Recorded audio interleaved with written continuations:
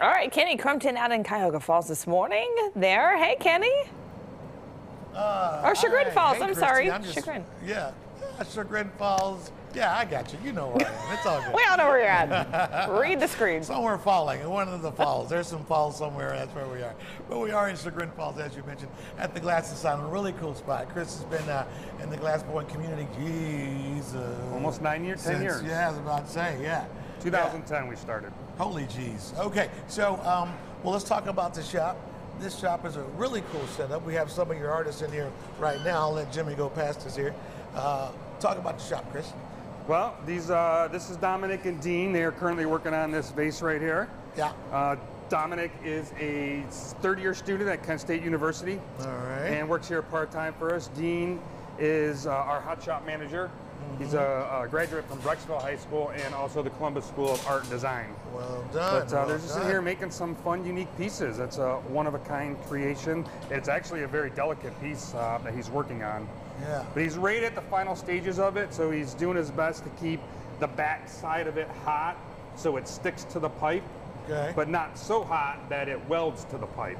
Gotcha. So um, in, in a few minutes, they're going to remove this piece because it's almost done.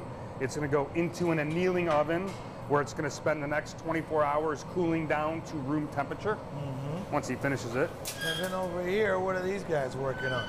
So this is Kevin and Amy, um, both uh, natives of this area of Northeast Ohio. Excellent. and they are working on what looks to be a nice bowl. Kevin is getting ready to make the punty, which is the the part of the a part of the uh, piece that is going to transfer from one pipe to another. Gotcha. Gotcha. So right now he's going to stick this pipe onto the bottom of the piece. right there. As he's doing that, Amy is centering up the pipe. Mm-hmm. And then she's going to cool her break-off point, which is then going to remove the bowl from the blowpipe, which they did a nice transfer. And voila. And now they're going to begin to heat the front of the bowl Yeah. so they can open up the lip of it. And then she can decide on how big of a bowl she, She wants, wants. or what, what type of shape the bowl is going to end up being. Is it a big And flared out quick, bowl?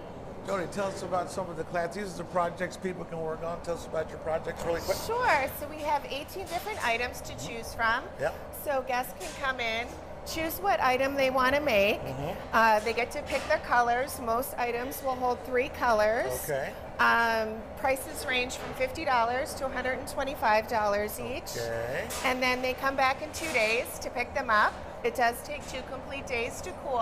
Okay. Yep, so they just have to call the studio and book an appointment. And voila. So right now, they just went shopping to see what they wanted to make. Yes. Excellent. Right here at the Glass Asylum. Okay. Since I'm full of hot air, they're gonna put me. they're gonna let me do a little glass blowing uh, when, when we come back. Kenny, they, they've right, been back they've been texting me. They've been texting me jo- uh, lines to, to throw to you, but I dare not say one of them because uh, I want to keep my job. So. Well, uh, you can go ahead and say the hot air line. That one's too easy, man. Most definitely. all right, Kitty. Thanks, man. I'll use that next time. All right. All right, time now is